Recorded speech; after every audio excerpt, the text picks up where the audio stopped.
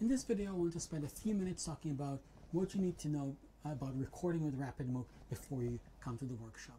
Now, I have made a lot of videos that are available on the on the RapidMooc uh, page about how to use uh, RapidMooc, how to use the, the, the, unit itself, how to prepare the videos, uh, how, what are the different styles of videos you can make. So you can go watch those, but here I just want to give you a quick overview uh, before joining the workshop. So first, how does RapidMooc work? Well, RapidMooc is an all-in-one unit that requires is just this one unit as you can see here and then a green screen behind me and then lights and that's all it is. Uh, and then what you have here is that you replace what the green screen gets replaced uh, in the video you, uh, with me and my PowerPoint in the background. So as you can see uh, initially I just saw the green screen video but actually as I'm recording uh, once I start recording I can see myself and I get a feedback on what is actually going on in the video now, uh, the, uh, the process of recording is very simple.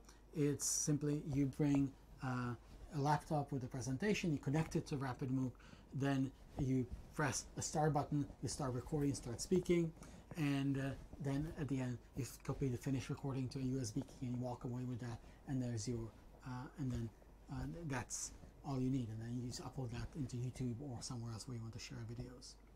You also need some other things. There's some accessories you need to know about. There's microphones, uh, there's some remotes that you can use, there's a keyboard to control the unit, and so on and so forth. But all those things are very easy to use, and, and I can explain that to you in a, in a few minutes. And there are other videos, and there's an instructional manual that you can look at to get all that information.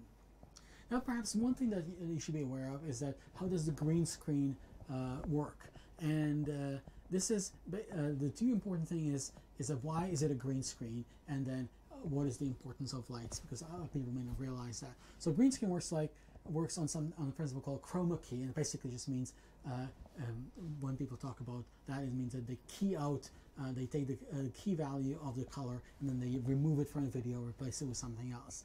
And the reason uh, green is used because green is not part of uh, natural complexion. So if you want to have people, then green is uh, not in, in their face, so that there's no contrast there. People sometimes also in the past used uh, blue screen and so on.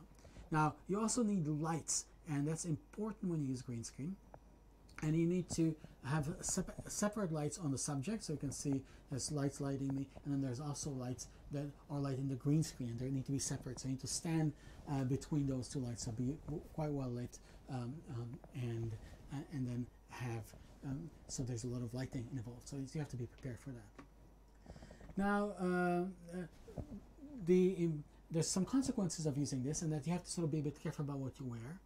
Uh, and so, so wearing something like pale blue or white or something like that, that's all fine. Uh, but uh, do not wear anything green. But also something very black or or dark blue, as you can see, for example, here, it starts giving uh, little halos and things like that. Very fine stripes and checks are also not that great because there's a bit of reflection. Uh, now, the other thing to remember when you're uh, when choosing what to wear, it's important to wear something, a collar or a pocket uh, that you can pin your microphone to on, on a shirt. So that's quite important, or maybe some pendant or something. Uh, so, so when you when you think about what to wear, those are the things to take into consideration. Now, what kinds of videos can you make uh, with RapidMooc? Well, so here's uh, basically the basic style video uh, is simply a presentation with a PowerPoint in the background. So you can see this is the video uh, that uh, I'm making right now.